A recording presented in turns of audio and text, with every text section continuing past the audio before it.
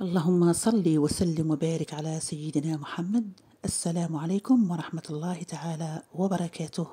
لا تنسوا الاشتراك في القناة وتفعيل جرس التنبيه ليصلكم كل جديد فضلا وليس أمرا. بعد ساعات قليلة من تحذير عالم الزلازل الهولندي أصدرت اليابان تحذيرا صباح اليوم الخميس من حدوث موجات مد تسونامي بارتفاع متر واحد وفقا لوكالة الأرصاد الجوية اليابانية.